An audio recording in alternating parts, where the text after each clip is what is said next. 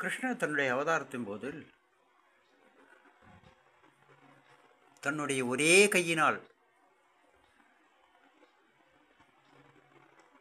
கோவர்த்தனகிரியை கையில் தாங்கி ஜனங்களை காப்பாற்றினார்.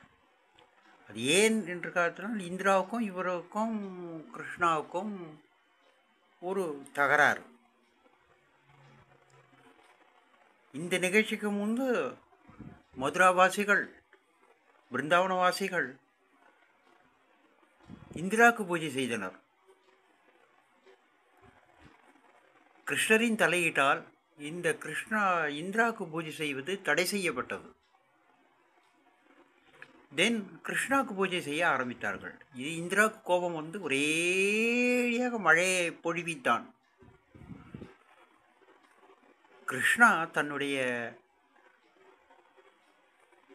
ஜனங்களை காப்பாற்றுவதற்கும் யாதவ குலத்தை காப்பாற்றுவதற்கும் பலராமை காப்பாற்றுவதற்கும் த கோவர்தனகிரியை தன் விரலிலேந்தி கண்டினியூஸாக தொடர்ந்து ஒரு வாரம் மழை பெய்தாலும் அதை பொறுத்து கொண்டு இருந்தான். ஜனங்கள் அதாவது அவனுடைய யாதவ வாசியர்கள் மற்றவர்கள்